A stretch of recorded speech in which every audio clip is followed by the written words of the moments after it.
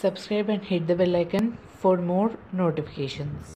Unacademy is providing courses for TS EAMCET and AP EAMCET.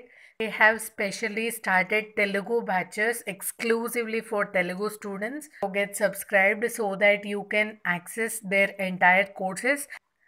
And this course will be available for the students for both PCM and PCB and uh, here is the schedule clearly and there'll be separate doubt clearing session as well. So to this entire slide and uh, there are also other similar batches uh, comprehensive batches and etc etc so just go through all these slides. Students if you are an Unacademy plus subscriber you will have multiple benefits you, you can access premium content at affordable prices. You can attend regular quizzes for your self analysis and you can also attend full length mock tests and test series. There are also multiple plans available. There is 12 month plan, 6 month plan, etc. The one month trail plan is for rupees 2250. You can use the code bestway20 to get additional discount. It is live now. Students can attempt practice test for absolutely free of cost. Just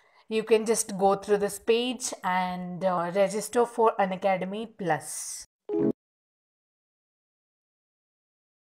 Hi friends, welcome back to Best Way to Study. We are going to see what are the top 500 questions in physics for EAMCET exam. If momentum is increased by 20%, then kinetic energy will increase by how much percent? Okay, options are 48%, 44%, 40%, 36%.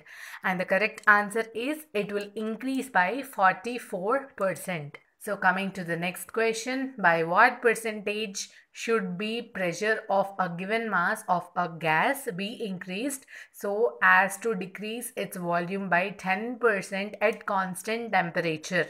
Options are 5%, 7.2%, 12.5% and 11.1% and the correct answer is 11.1% to the next question percentage error in the measurement of mass and speed are 2 and 3% respectively. The error in the estimation of kinetic energy obtained by measuring mass and speed will be dash. Okay.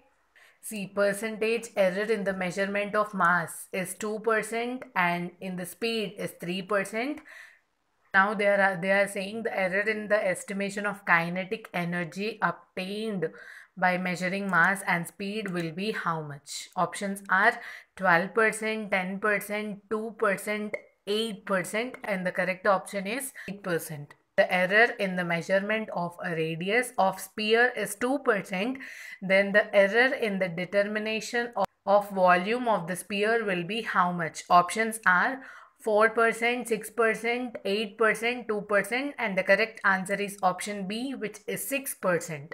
So yeah that's it for today. Hope you found this video useful. Don't forget to subscribe to my channel and hit the bell icon so that you'll never miss a video from Best Way to Study. And also don't forget to like and share this video with all your friends. Thanks for watching.